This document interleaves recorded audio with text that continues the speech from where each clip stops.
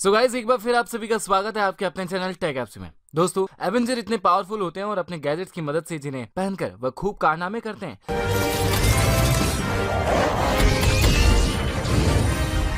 और ऐसे ही कारनामे आयरन मैन स्पाइडरमैन सुपरमैन और बहुत ज़्यादा लोग कर चुके हैं।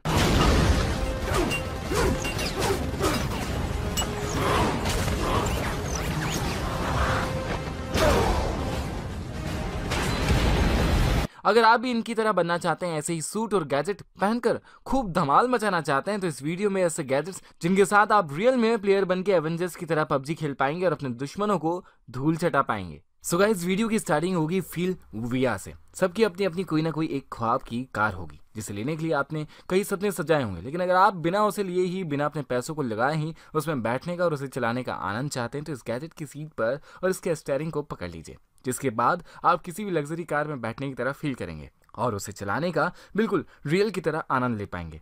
और अगर आप फार्मूला वन की कारों को रेसिंग में देखकर बहुत ही ज़्यादा अट्रैक्टिव हो जाते हैं और खुद भी रेसिंग करना चाहते हैं तो उसके साथ रेसिंग का मज़ा भी ले सकते हैं।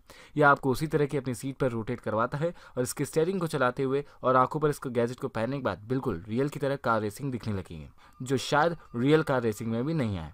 Number four super suit Iron Man जो एवेंजर में सबसे ज़्यादा खतरनाक दिमाग वाला है। है और उसकी दिमाग की शक्ति से उसने सूट बनाया और यह सूट की मदद से इतने ज़्यादा कारनामे कर पाता है।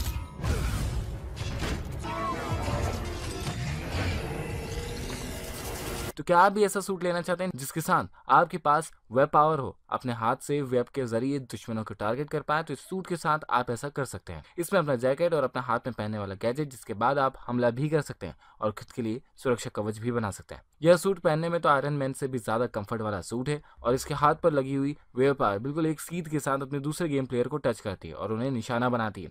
टीवी कंप्यूटर गेम से दूर होकर, अगर आप आयरन मैन वाला गेम खेलना चाहते हैं तो इस सूट को पहन सकते हैं, जिसके बाद आप एक आयरन मैन बन जाएँगे।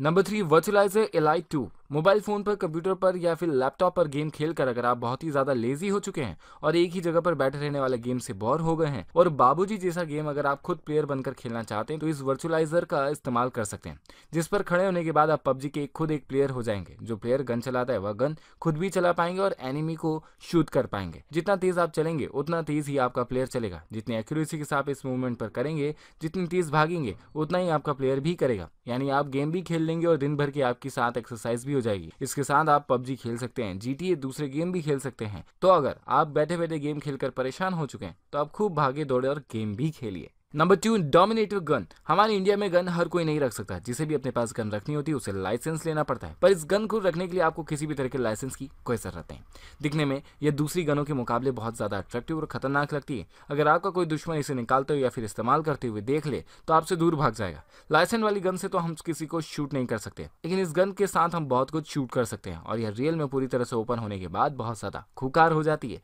सिर्फ़ एक बटन से इसे पूरी तरह ओपन किया जा सकता है। जिसके अंदर चल रही एलईडी लाइटिंग्स इसे और भी ज़्यादा अट्रैक्टिव और यूनिक बनाती। अगर हम इसका इस्तेमाल अपने हाथों से गेम खेलने में करते हैं तो फिर भी रियल में आपके पास इसे देखकर कोई नहीं भटकेगा।